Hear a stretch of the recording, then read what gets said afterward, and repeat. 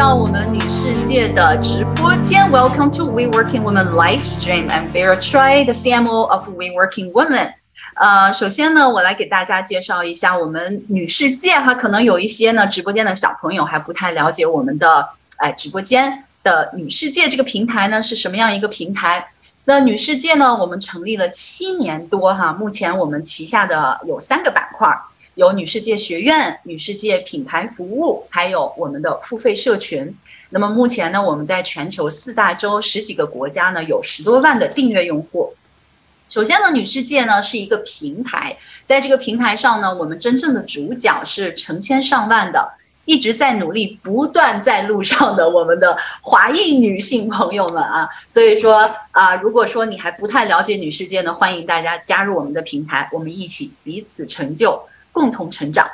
那今天呢，我们的直播间哈，邀请来一位不是女性的嘉宾，嗯，但是是是女性之友，有 妇女之友，但是呢，她的呃很多经历呢，和我们平台上的很多小伙伴是非常 relate，很很很相似哈，都是呃在一个全新的国家、全新的文化啊，学习了全新的语言，并且呢非常。成功的适应到了这样的他的海外的一个生活哈。首先，我们欢迎一下今天我们直播间的嘉宾朱莉安，欢迎。谢谢你邀请我，大家好。好，那我首先来介绍一下哈，朱莉安。其实很多人已经知道你了，因为我们在社群分享今天直播的时候呢，这个你猜一下，大家对你的这个 title，就是对你的各个这个头衔最感兴趣的是哪个？啊。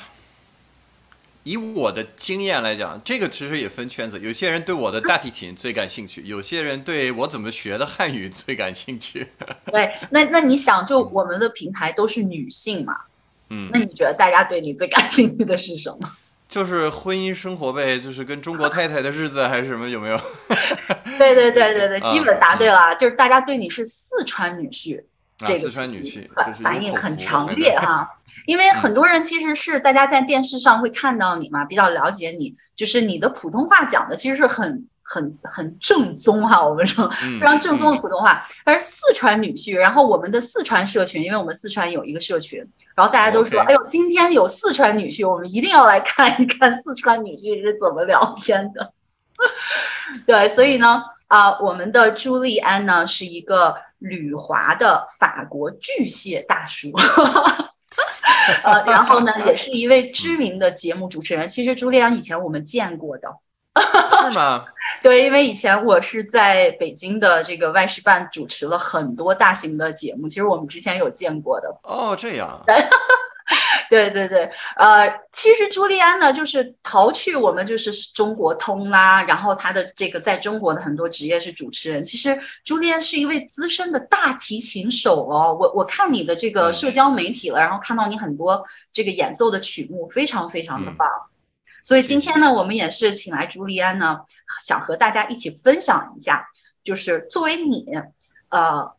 可以给我们女世界的很多朋友能够分享的，就是我们面临的很多挑战都是怎么样去适应一个新国家的生活哈，不管是语言呐、文化呀，所以很多女性呢也是非常努力的，在新的环境中呢去创造呃自己新的人生的一个巅峰，成功的事业啦、舒适的家庭生活啦，呃，但是呢，就是朱莉安其实作为一个在中国的法国人哈，已经。实现了这些，所以今天我们要来跟你考取你的成功经验。嗯嗯，所以第一个问题哈，就是想问问你是当时怎么就决定来中国了？那么大的一个决定。呃，首先我说个大前提啊，先声明一下，我真的没办法从女性的角度来分析我的这个阅历啊。呃，我我开个玩笑啊，我其实我我一开始啊是一种。也不能说有点懵，但是我其实当时是因为我我拉琴手受了伤，然后连续几年不能拉琴，我就学中文学着玩，然后就来中国了。所以对我来说是特别顺其自然的事情。呃，因为我我没有什么呃长久以来的梦想啊，或者对我从小对中国文化也没有任何没有任何兴趣，也没有概念，什么都都是突然的，突然觉得哎，我学着玩，买了一套教材自学，然后就就就这样就开始跟一些中国朋友交流，然后大家就夸我说，哎呀，你这个口音很准呐，然后就 就有动力嘛，就大家一夸我，我就更想学嘛，这这是良性循环。好多人老说天赋，我说这天赋没有什么太大影响，因为天赋只是一开始是一种。莫大的鼓励，这可能是最大影响，而不是说在绝对的学习能力上。大部分人不学习下去，是因为不自信。所以，所以天赋能弥补这个东西，但是天赋绝对、绝对不能影响，就是不是直接影响结果的呃方面啊。所以那时候我只能说，我可能跟学音乐有关。好多人觉得啊，学音乐耳朵好，耳朵好是一方面，但另外一个就是我们这种，就从小。就就克服这种 吃苦耐劳，人人类不光是吃苦耐劳，很多人能吃苦，但是挑战这种人类极限的这种难度，这大部分人是做不到的。这个是大部分人类做不到，而而我们，呃，包括你像顶级运动员，是不是？我们从这种水平的这个这个乐手，呃，这从从从这种角度来讲，我们从小要克服一些，真的是大部分已经是超人级别的人类都做不到的，但是我却要克服，因为我还认识一些。超人级别的人是做到了的，然后我觉得这些人都是我同学，都是我身边的人，呃，我们都是花一样多时间，就练在练这个东西。为什么他们做到，我做不到？所以我要不断的分析，不断克服，不断去走死胡同，然后再再找回来。所以就是对我来说，整个学习语言的过程是和我学琴是一样的，因为我觉得挺，说实话，就是学学一门外语比学乐器要容易很多很多很多倍。是，当然就是就如果你你只是要求自己是听说读写达到母语水平的呃读呃这个流利的话啊，实际上这个难度是所有人类都可以做到的，因为最好的证据是呃大部分人是就是所有人是可以把母语呃做就起码在母语上面甚至一两种方言是可以做到的，所以这个是全人类都可以做到的，但是。像顶级达到顶级运动员水平，或者像我们这种就是达到高级，呃最高水准的乐手的这个这个，这是极少数人类可以做到的。所以我认为它难度级别是不一样的。那从这个角度呢，我们就是 来自于这种变态的 圈子，呃，去去适应这种学外语的新新难度不是什么太难的。但当然，如果我想达到世界顶级语言学家的水平，OK，这就和我。学琴是一个级别的难度，嗯，但是只是母语水平的听说读写，这个大部分人对自己母语也没多了解，也没多，对，没错，那比语言学家差差个十 十几年的功功底妥妥的。是的，是的，嗯，就是我当时学外语的时候，我我记得就是我很爱听的一个，就是非常鼓励我的一个原则，就是重复是学习之王。嗯，那其实就是一个不断去重复、精益求精的一个过程。对，但实际上就是重复也是也也也是一个问题，就是我们呃很早就学会呃不要不要一味的重，就是不要重复错误。所以说就是傻练也是个问题，像我们练琴是一样的啊。所以就是也要学会多听少说，然后再慢慢慢慢的 呃多练，但是多练也是对自己非常。呃，会分辨的基础上，所以这这这里边还是有很多学问啊。为什么？其实你问我的问题不是完全针对语言的，但为什么我强调语言？因为这是我人生的故事。因为我我到了中国以后，我是怎么呃适应社会？特别简单，我只接触中国人，偶尔嘛就跟所谓的老外 见面聊几句，我英语也好，所以但是但是我从来不刻意去接触 expats，从来不刻意去接触这些这个这个这个。中国以外的这些这些人，就碰见了就聊，嗯嗯嗯，我大自然嘛，就是就这个就像大家问我，哎呀，你为什么要找一个中国女朋友？你为什么不找你们？我说我说我在北京生活十几年，我我刻意找一个法国人，那才叫奇怪，对吧？自然接触的都是本地人，对吧？对的，对的，对的。哎，其实我觉得刚刚朱艳分享的这一点很好哈，就是。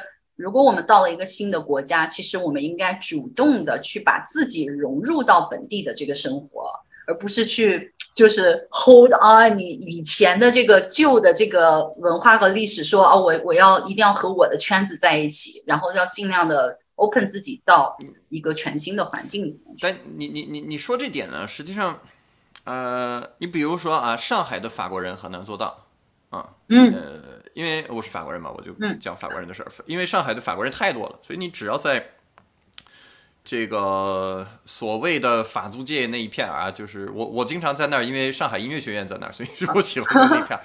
嗯，那不论是这个这个徐汇区啊、静安区，熟悉上海的朋友知道啊，这比较核心的这几个区，你你去哪儿都是一堆法国人，所以啊。呃我可以想象，虽然我有我自己的中国朋友圈子，我也我也不去跟那些人混，但是特别容易，如果你长期生活在比如上海这种地方啊、你就呃不太好，就一直说中文，因为而且上海是出了名的，我们这个连餐厅服务员，我跟他说中文，他们硬要说英我听不懂的英文，然后我说你知道我我中文是你说中文我会听的，对我说这你说中文我才会听得懂的，你这个英文我没听懂，然后他还坚持跟我说是英文，然后就。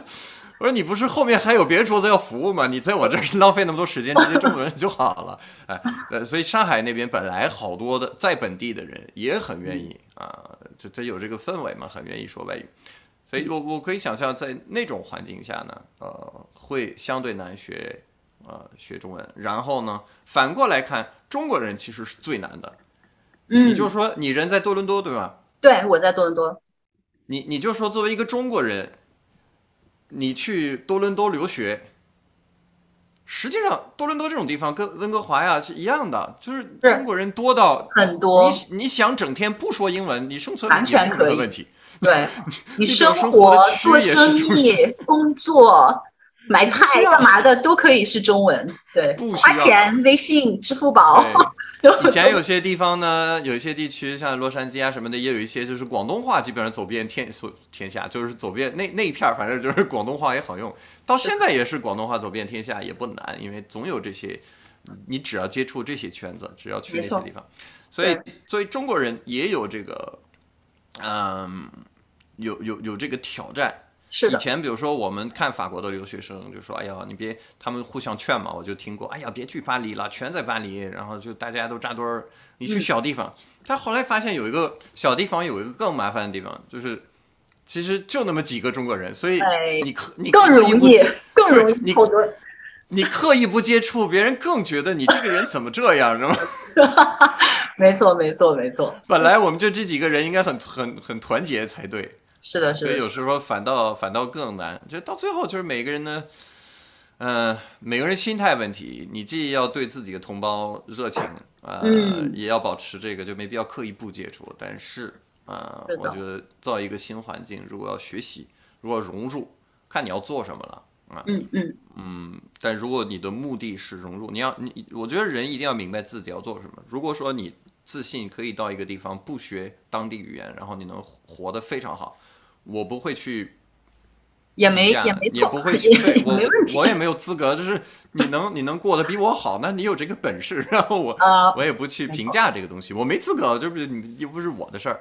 但是如果你是想融入，呃，我我我觉得一定要想明白自己要怎么，就是首先就是少接触中国人嗯。啊啊，像我以前我们有我好多学艺术的人，我也在劝他们，像我们学这个古典乐的，我说你少跟中国人扎堆儿，嗯，因为实际上对学古典乐的人，天天 KTV、火锅、麻将这些打牌这些东西，喝白酒，我我跟你讲，就是就即便是学艺术的中国人，很难避免这东西。嗯我对吃这个环节我倒没什么，但是其他那些对艺术确实不利的，因为它比较上瘾。然后你大部分时间你学习四年，有时候大部分人是学习也就四年，其实很快就过去了，你没学点什么，就是你没你没有去。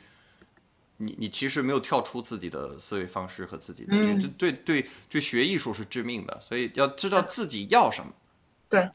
然后就是婚姻生活当中啊，也又又是另一个挑战，对吧？就是对对对呃，因为互相如果是互相特别理解，那是比较理想的。但是大部分的这个情况是有一方更理解另一方，嗯因为有一方有一方相对更懂得对方的语言，嗯，没错。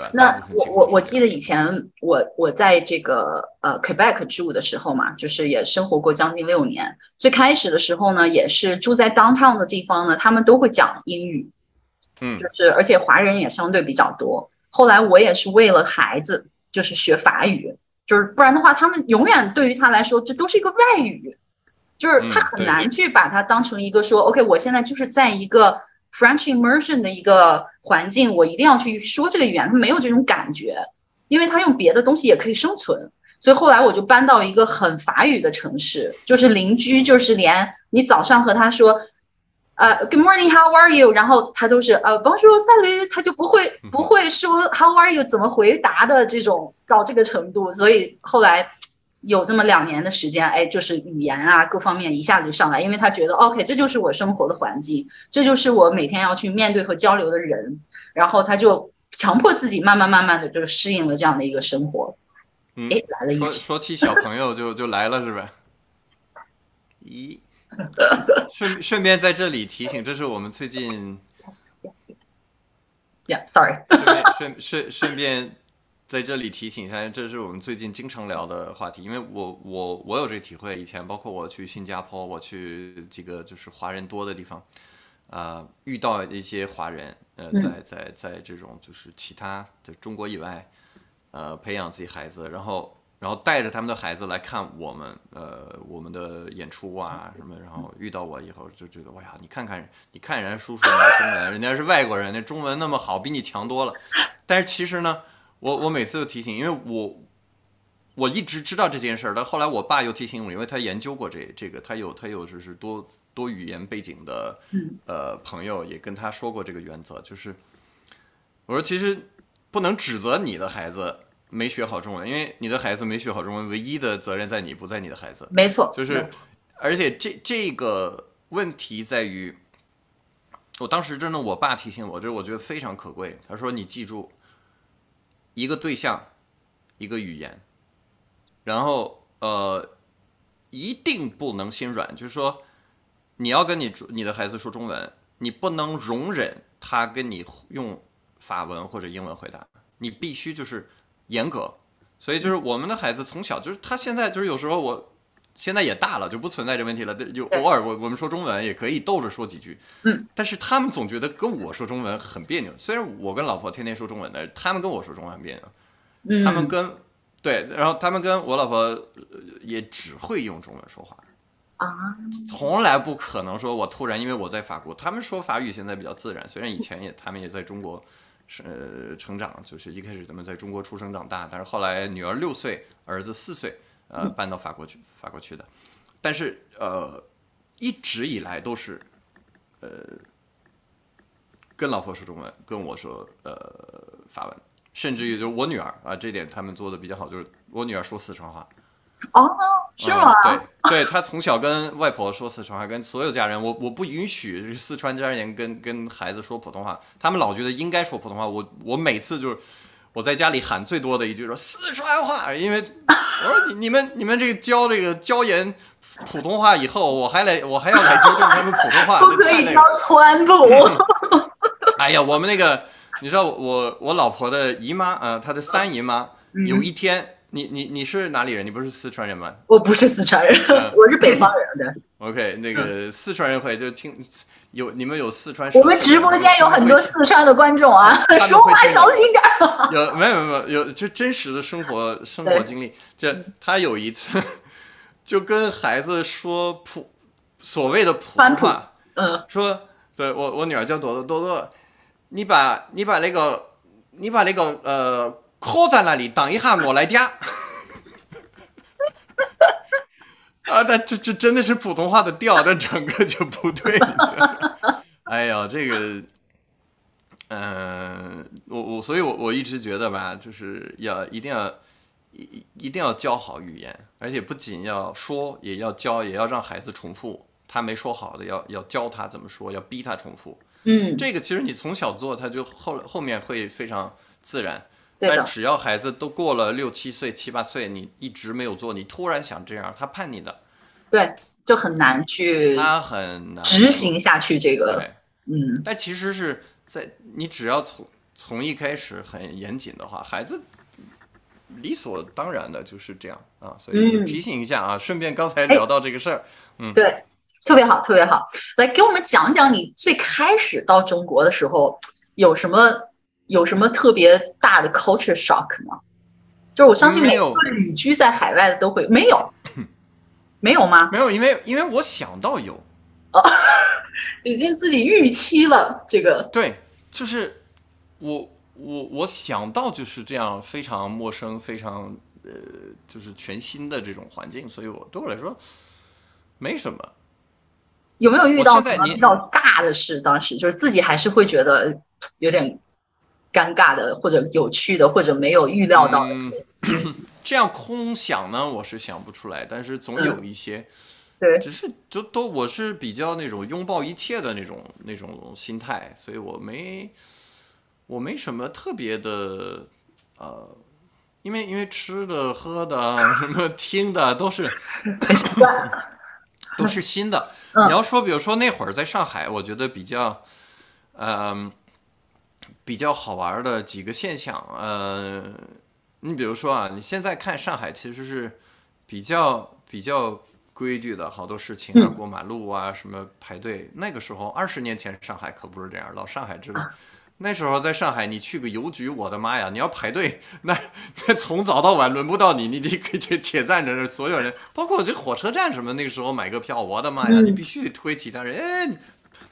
他们上海人嘛，排队排队，排队嘛，排排队，就是在上海这种场面，我会觉得很那个什么，就是比如说去提款机取个钱，然后老太太在后面，就恨不得我老觉得她想看密码，她不是就急性子多。对对，上上海有这种，快点倒不是 culture shock，是是是觉得这边这边有这个特性吧，这边有这个特性。你你比如说你在红绿灯，你的司机那时候就是打的嘛，那司机其实并没有慢。所以这这个灯刚刚从红灯变绿灯，刚刚变，他已经走起来，可是后面人已经都在摁喇叭。对，我是 觉得这边人怎都那么着急吗？又没多，又没耽误时间啊。所以这这种小细节呢，是当时觉得，啊，也蛮可爱的。对 对对对，呃，对对，呃，你你你就是从来到中国的这个前面一段时间，你是从什么阶段开始接触到？主持人这个行业的，然后你又是经过哪些专业的培训？因为你的中文真的是主持人的水准哈，就是比很多中国人说的都标准。经过了什么专业的训练？我们想听听。我没有受那个，我我没有乡音的麻烦，所以我我直接就学的是准的，这方面还好，说的乡音难改，就是就是一个呃一个。一个很很很客观的问题。是的。嗯，我我，呃，我想想，我九九年到的中国，零零呃二零年的呃不对呃零零年零零年的时候，我就上过一个节目，呃那个时候也是就我朋友呃就让我上一个节目上着玩嘛。从此我就认识我后来的相声师傅叫丁广泉，但是那个时候我们后来也没有接触，他给我递了一张名片。直到二零零三年的时候，我给他打了一个电话，我说：“哎，这个，这个老先生，其实那时候也没没那么老啊，才五十多岁。但是，嗯，我我我我那时候就觉得他很有意思，他很热情。然后要去北京，呃，有可能我零二年就去北京也见过他一次，嗯。然后我我就是好奇嘛，去见他一面。然后那个时候。嗯，他跟我讲了一些相声的事情。我其实并不是像好多人就觉得，哎，我要拜您为师，我要学相声。我不是，我就是好奇，我就感觉，哎，他挺有意思啊的。我也没想着跟他做节目，完全没这个想法，纯粹就是觉得他很有意思。然后我从一开始就一直喜欢听相声，自己为了练发音，也经常练各种绕口令。我就会专门有针对性的发现哪一些是。外国人，或者说起码我比较呃比较有挑战的那些音啊，我会有针对性的去找那方面的绕口令去练练，反正就是包括练四声啊什么的。所以，呃，当时就经常听相声。嗯嗯，然后呢，呃，二实际上二零零三年的时候，呃，非典那一年，嗯，我在上海有一个机会，就是当时。我印象中是华东师范大学吧，要拍一套汉语教材，然后需要你知道好多教材会拍系列的视频嘛，就是每篇课文有相关的录音以及视频。嗯嗯。完了是上海戏剧学院的导演，呃，还有学生也在在负责这个导演工作吧，应该是。当时他们就找，想找一个主角是普通话标准的，嗯，外国人，长长我这样的，然后然后就就找到找到我了，啊，所以这我我我去面试以后说，哎呦，你中文这么好，哎呦，没什么口音，好的就你了，所以我我我这样就开始接触表演，或者说。这个圈子的人，紧接着跟他们一起呢，我他们又给我介绍了一个老师在拍一个话剧，我就去演话剧去了。这是零三年的事情。然后因为我在上海演的这个话剧啊，当时好多媒体关注过啊什么的，然后电视台又请我，电视台请我以后吧，就开始有一些主持的活动，他，就这样。嗯，在之后零四年我就去北京了。去北京，我就正式呢就开始跟丁老师录节目啊，然后后来就拜他为师啊，什么这是，那从那儿就一发不可收拾，就一直是中央电视台、北京电视台、凤凰卫视什么什么各省卫视啊，各个呃包括小地方台呀，什么都一直跟着丁老师，还有其他的啊各个电视台到处跑啊，是这样，对我来说也是顺其自然的，嗯，没有没有刻意去找这些机会。很喜欢，就是后来慢慢的就是很很喜欢主持人这个行业了，是吗？嗯，我蛮喜欢主持人，嗯，我觉得适合我。这可能每个人要，嗯，每个人要知道自己擅长什么。对，嗯，没错。所以我我我感觉呢，我我是因为我觉得一个人的文化底蕴是和呃主持工作是，就是我追求的那种状态是和主持工作是比较类似的。嗯，比如说在古典在古典乐和爵士乐之间也可以这样区分，就是表演更像古典乐，嗯。啊，这方面其实我我我在古典乐领域，我在音乐领域我更像更倾向于这方面，因为我学的是这个，但是我在表演方面真的是就是语言和形体的这方面，我并不觉得我是出色的演员，但是我觉得我是出色的主持人，主持人呢更像爵士音乐，为什么？因为平常的日积月累的这些。我认为就是一堆没什么用的知识，但是你全部放在一起，你就能跟谁都聊上了。没错，没错。那在所以这这就有时候就是文化底蕴，去学外外语这点也很重要。是不能只学自己认为自己有对自己有利的或者自己认为有用的东西我才学，对，然后我去过滤那些我认为没有用的知识。这样的话，其实学一门语言很难学好，很难有有有文化底蕴啊。对，那你在中国这么多年哈，就是而且还是有正式的这种工作的经历啊，在这么长的一段时间里面，你你觉得自己是一个在中国的老外吗？就是你怎么去看待老外这个头衔？就是你会不会嗯证明自己是老内？其实，你你知道我我曾经特别努力的想当一个中国人，嗯。因为因为我来自法国这个地方，实际上是一个有移民。你像东亚这些国家，中国、日本、韩国，它都没有移民法，它都没有真正的意义上的移民啊。当然有个别足球运动员啊给国籍，那是另一个，这但这是世界通用的做法，谁都没有。对的，对的。但是嗯，基本上是不好移民的地方，所以呢，嗯，别人会以这种肤色来判定，哦，你是外国人，你是本地人。对，那当然，这种这种判定法在法国，在这个在北美，哎呀，你种族歧视，对吧？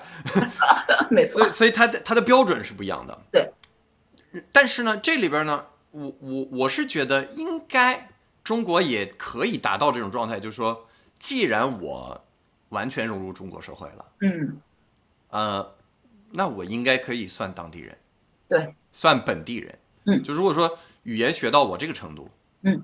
我在北京，我在北京待了将近二十年了，对北京熟的不能再熟了。然后就那那一个虽然是中国人，但是是一个广东人，也没出过广东省。你说我们俩聊北京，经常有人跟我杠你，你就那时候我抱怨啊，北京社会啊，或者这一片区啊，这个这胡同啊什么，抱怨我们自己。亲身经历的这些，我发现以前多好啊，现在这个没来也太可惜了。然后，然后遇到过人家一个广东人跟我杠说：“哎呀，你凭什么一老外就就对我们中国这个这个啊这个呃乱加这个评价呀，或者这个批评啊什么的？”我说：“我说这是我熟悉，这北京就是家呀，对我来说，你又不懂，你比我你你你从哪儿觉得你比我有资格聊北京？对对，没错。我说我们我们。”拉一百个北京人过来，他们都觉得你还没我资格，嗯，有资格聊北京，对吧？是我是，我毕竟就像对他们来说，我更像自己人，所以有时候这个东西啊也是很微妙的一个变化。但我怎么说呢？我发现其实法法国文化和北美，尤其是美美国文化不太一样。就是加拿大也也大概也比较接近美国那种状态。嗯，没错。就是说多少代移民，嗯，在法国是要说，哦，我是法国人。他要强调，你要是问他你是哪儿的，他就觉得哦哟，你这么问我就有点不尊重。有时候啊，这个就 很多人不在乎，但是很多人也会在乎。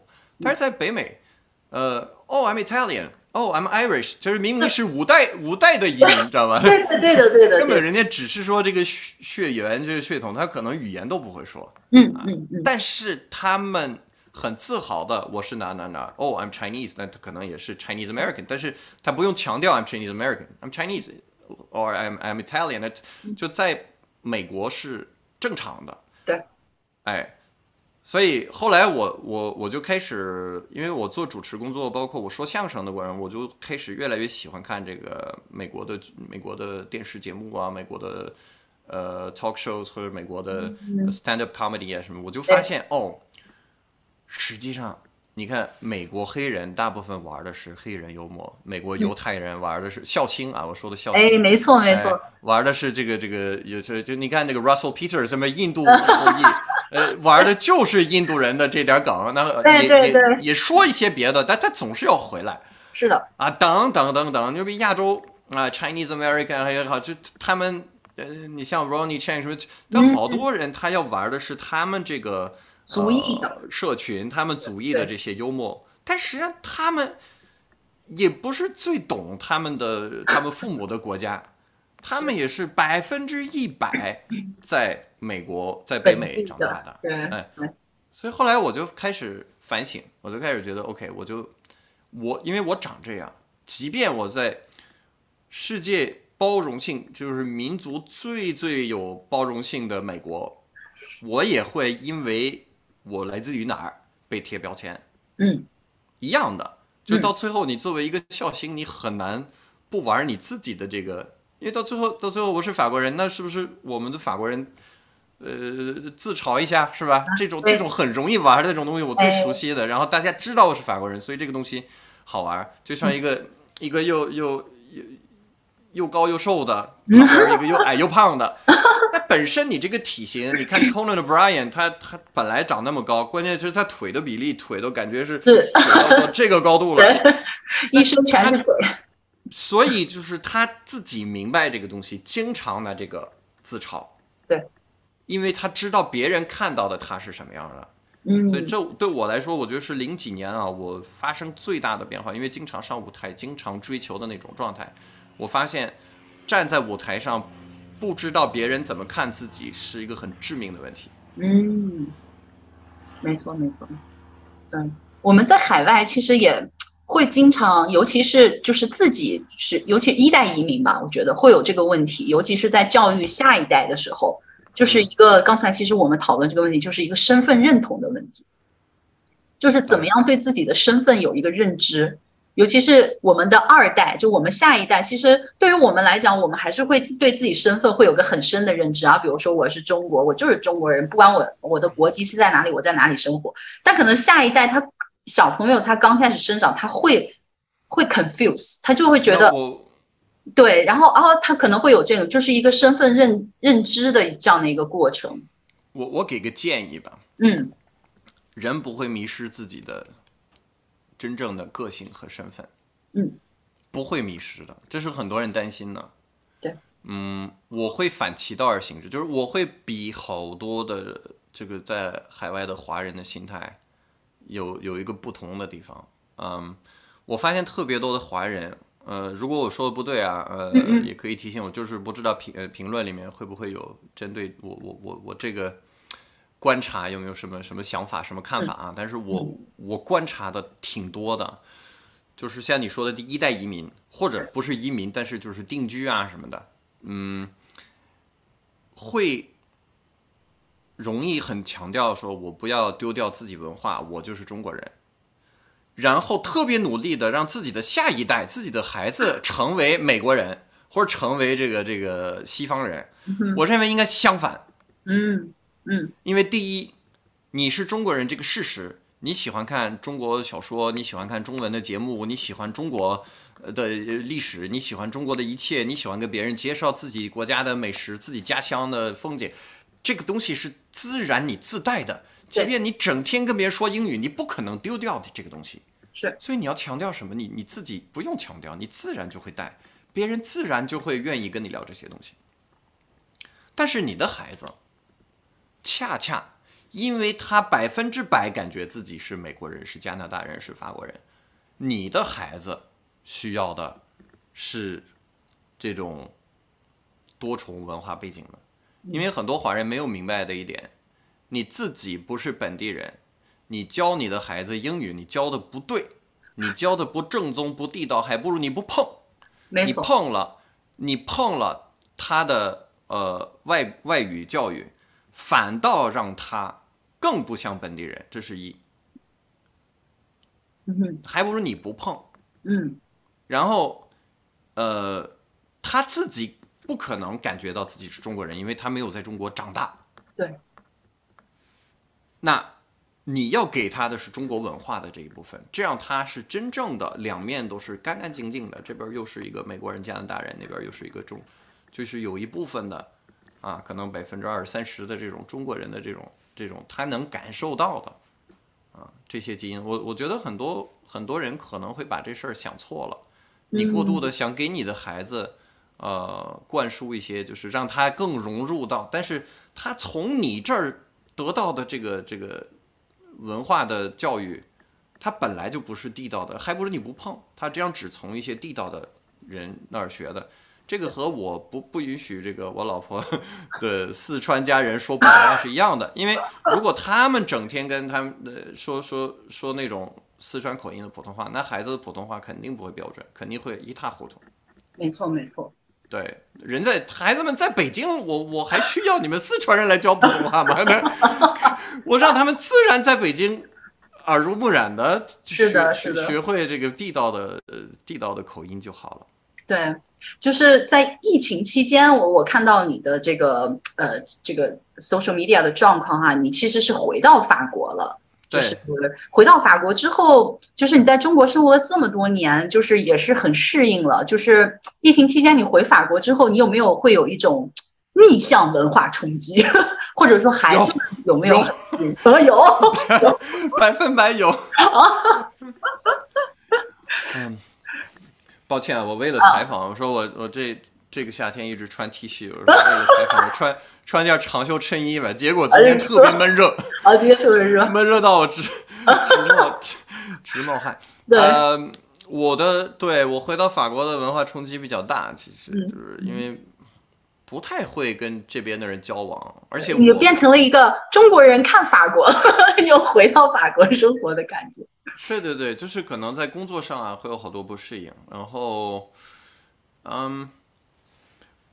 社交上也是一个挑战，因为我并不是特别融入，因为我我没在这儿工作过、生活过啊。我我毕竟二十岁就去了法国以外的地方，而且那么远、那么文化那么不一样的地方，所以我学会工作啊、社交啊这些东西都是在中国学的，那确确实实是不一样的。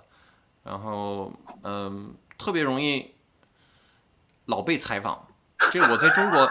你知道我我在中国也是这个问题啊，就是到哪儿呢都是，像我以前一哥们儿为了这个，他就做了一个 T 恤，还做了这样的名片。我会用筷子，我会学中文，我会写汉字，然后写了一个就是他最被被被被最常问的问题的答案。对对对对，然后我我就会经常在中国遇到这个事儿，因为别人好奇嘛，说啊，怎么一个老外能把这个中文说的那么好？什么你怎么学的？你有女朋友吗？你怎么等等。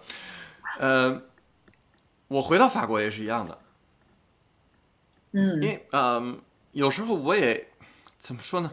我为了让他们明白我不太懂这个，或者我不太呃，就就有一些方面我我没太明白，然后我可能自己会犯贱嘛，自己会跟他们说，哎，我其实我在中国生活了二十年，我刚回到这儿，我也还我还不太适应，嗯，然后就其他人一明一知道我我在中国那么多年，就会问我。一大堆跟中国有关的问题，然后就问我我怎么适应的那边啊，在中国如何如何。问题在于，我被中国人采访，往往其实挺好回答的，哎，因为他们的好奇心是比较简单的，对，呃，他们本来对，嗯，中国人是一直关注国外文化的，相比之下，所以你说一点，他们就哦哦哦哦，就就就就好了。对，法国人是，他真的没有概念，嗯嗯，他本来就是大部分人也不也不那么关注中国，是的，所以所以他他会有更多的问题，他会有更多的不明白，然后关键是我老去，他们又法国人又喜欢聊天，又喜欢探讨，嗯。所以我需要解释很多，所以有时候不想不想去社交。我倒是我倒是本来就挺宅的，所以我也不无所谓啊。我在中国是因为饭局多呀，什么这些，主要是各种局多嘛，总总有朋友什么说，哎，你来呀什么 的。那那我在中国不会孤独，也也这么多年的朋友都在，尤其是这几年我就是来回两边跑呢，所以大部分人知道我回来了，那就赶紧约，赶紧安排茅台。呃，这这就是中国让人很温暖的地方啊，是的是的大家都很热情啊。但是我在法国确确实实，嗯，不太容易社交，因为我、我总需要解释很多。嗯，没错没错。呃，你刚说到那个，我觉得可能就作为一个中国人在海外，可能特别被常问到的问题，也会有一些 stereotype 啊，也会有一些人呢经常会，比如说说啊，你是从中国来的哦，我们公司也有一个中国人，他姓王，你认识吗？然后 对对对，我经常会觉得，呃，其实我们这里中国人很多的。我们我们以前呃你知道，就普通普通人啊，普通老百姓都是。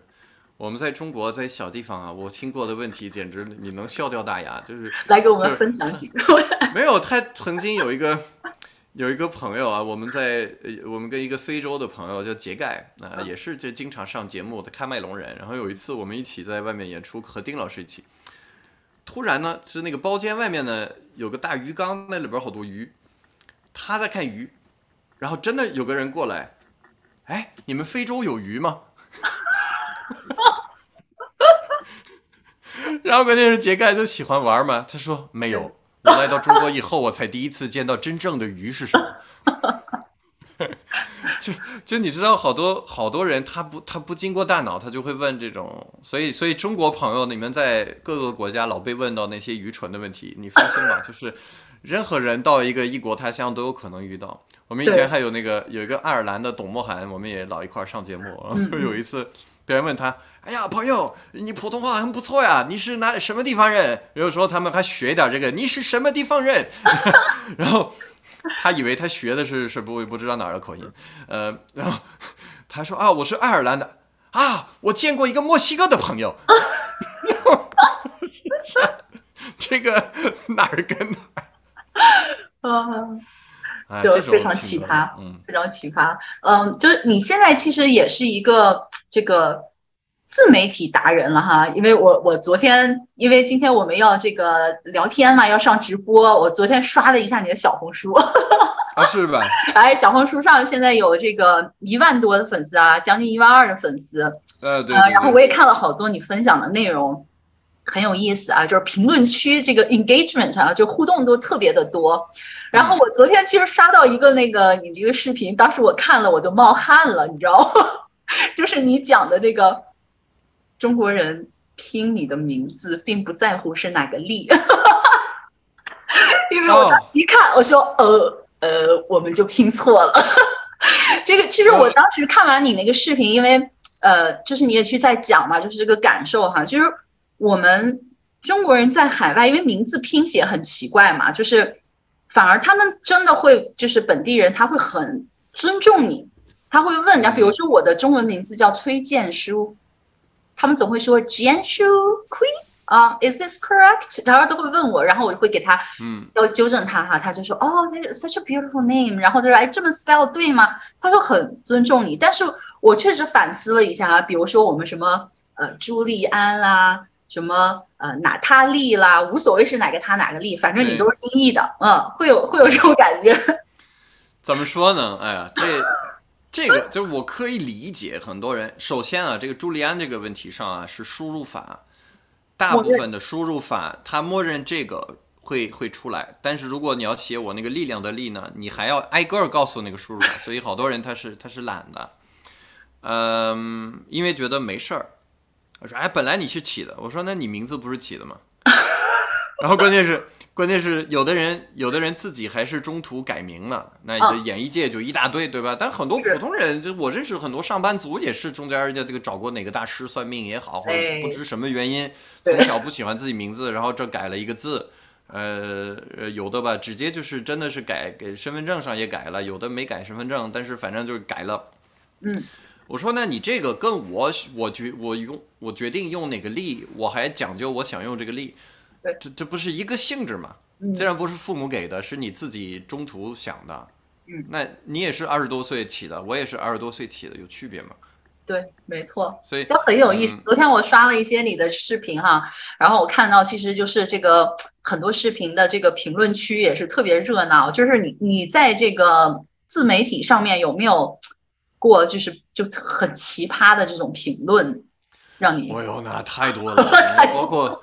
曾经，曾经我我我玩微博，那奇奇葩的也很多啊，太多太多太多了。那这这这真是数数不胜数。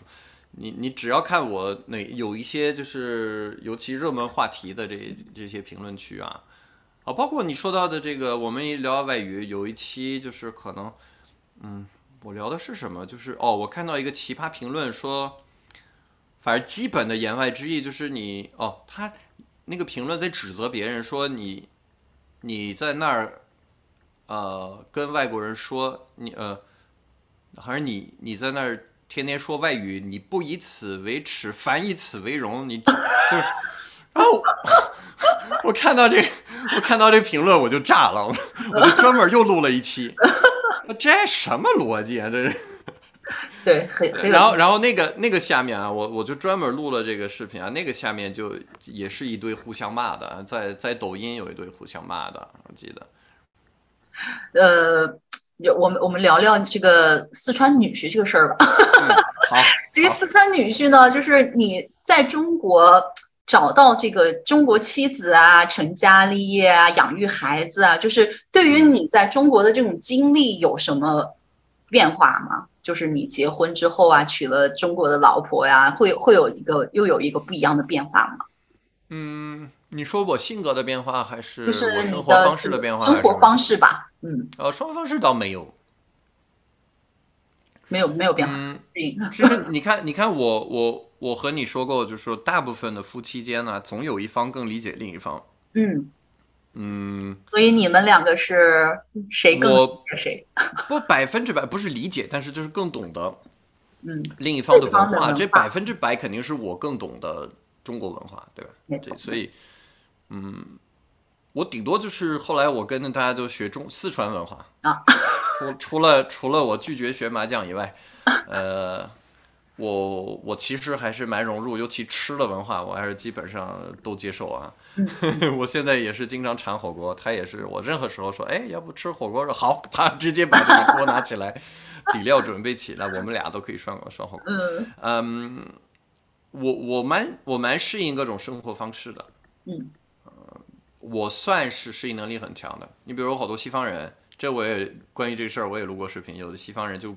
一辈子接受不了。我爸就是一个，刚才我提到那个爱尔兰的董博涵也是一个，就是早餐不可能不吃甜的，早餐休想让他们吃甜呃咸的，啊，不可能啊。然后呃，很多人就反过来嘛，就就早餐必须吃这个这个那个的啊，也不能吃甜的，也不能就很多中国人有一些这样的习惯，有些人一定要吃啊粥啊稀饭呐什么这类的，或者是就。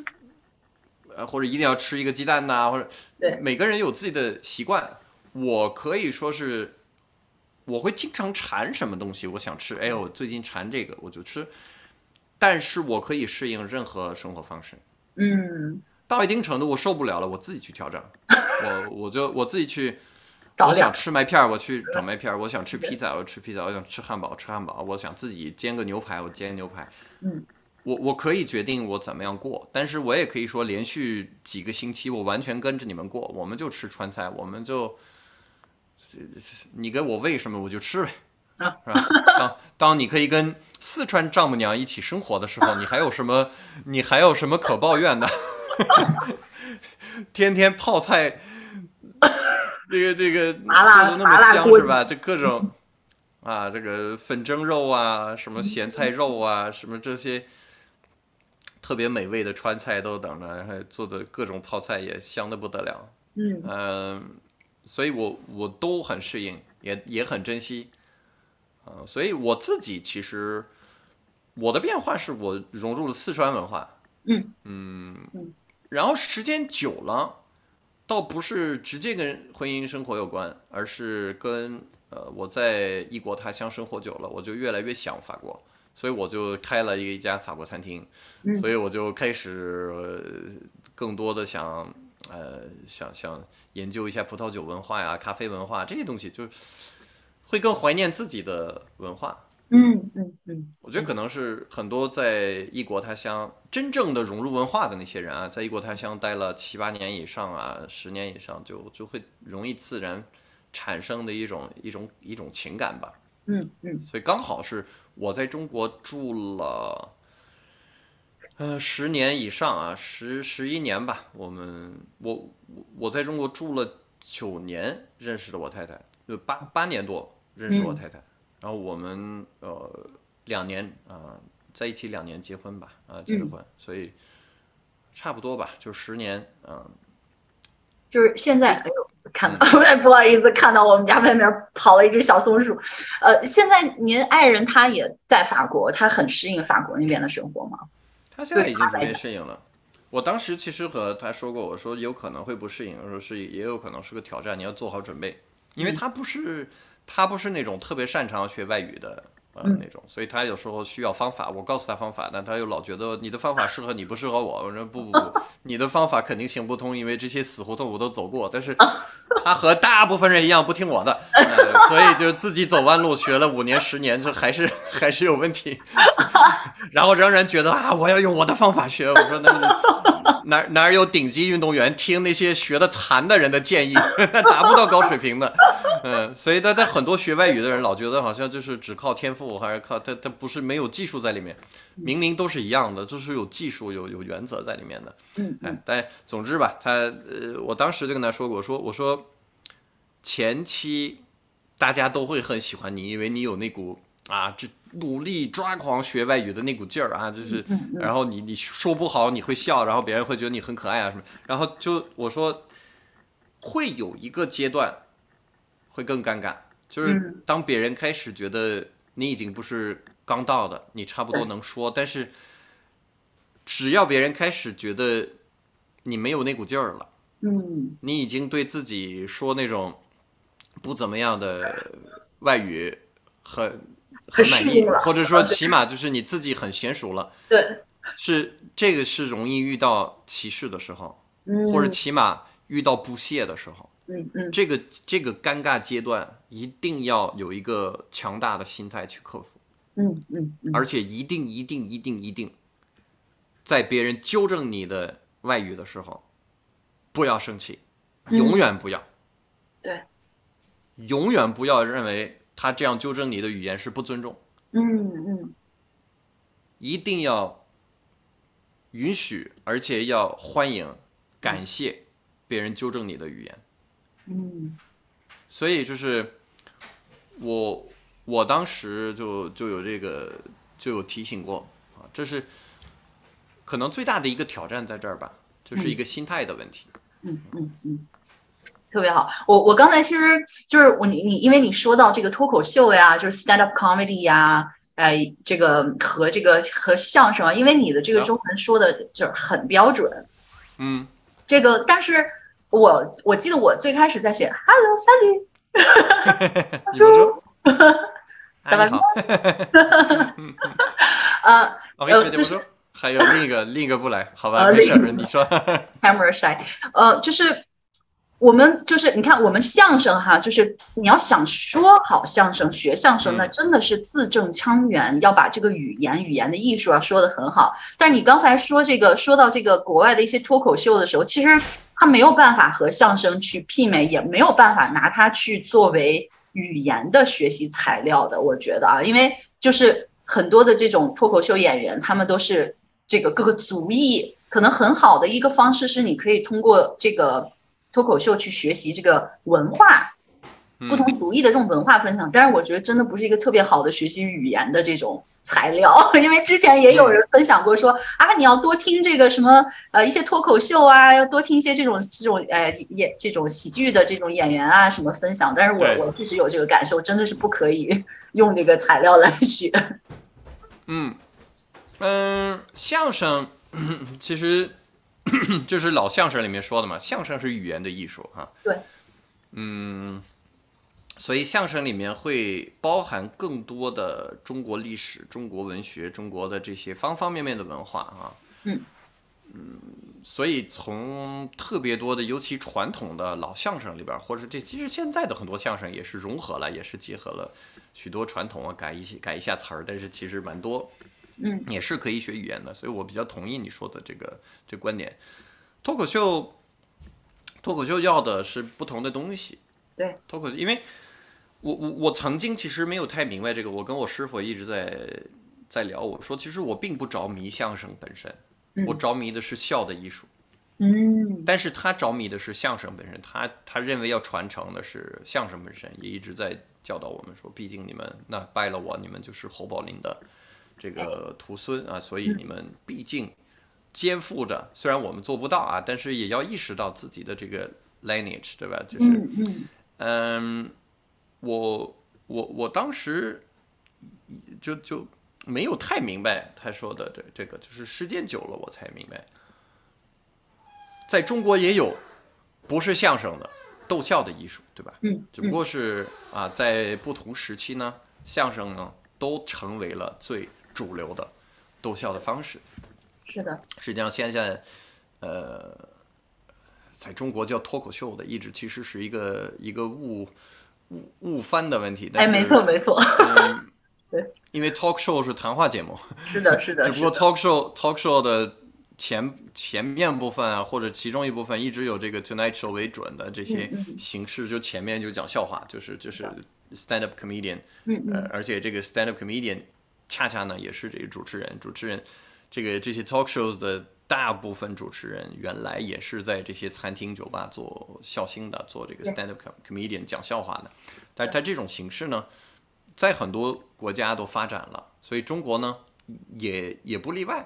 嗯，啊，就像很多中国作曲家会写这个，呃，中国风音乐、中国音乐的呃元素的古典音乐，他们一直说，哎呀，他们都老在。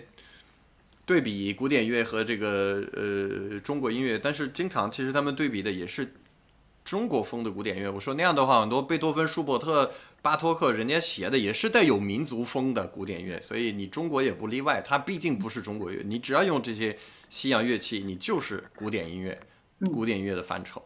嗯，所以脱所谓的这个脱口秀，就是就是中文语言的呃 stand up comedy。对的。它也就是一种 stand up comedy，嗯，它只不过是中国文化内容的啊，它它它就是各个国家发展的那样一样，就现在呢，逐渐就成为了另一种主流，这是必然的，所以这并不是说哎呀，被美国文化稀释了没有，嗯，它是自然要这样发展，但是它因为它的形式不一样，像你说的，可能听相声的人总觉得就是语言很多微妙，哎，在里边就玩玩这个语言的艺术啊，是的。但是，呃，stand up comedy 是另一种，他玩的是梗梗，纯梗，而且对他玩是梗，而且他是一个接一个的，互相之间可以没有任何关联。嗯嗯嗯嗯。哎，我那天跟我妈说，哎呀，我弟怎么如何如何什么，呃，下一句说，哎呀，你知道那天我去医院啊，这这这，哎呀，我小时候在中国什么，你说，对，互相之间就是每十秒就换一主题，生转。是的，是的，是的。嗯，哎，相声它有一个所谓的电话嘛，它要铺垫啊，它要讲讲，对，他他要转，他也有一个过程的。他有时候吧，就是为了最后那种回味无穷的笑，他可能铺垫两三分钟，中间呢也没笑几次，只是觉得很有趣，但是不是那种让人大笑的啊。所以要的要的效果是不同的，啊，都是可以并存的。我我其实我也，嗯，我也不觉得特别容易一个。相声演员成为好的 stand up comedian 很难，一个一个好的 stand up comedian 成为好的相声演员也很难。对，它其实是完全两种不同的这种艺术的呈现形式。对，但有一些技术是一样的，有一些技巧，对观众的把握是一样的。哎，对，一种互动啊和观测，嗯，对，这是很多主持人不懂的。嗯，一个好的喜剧演员一定懂得察言观色。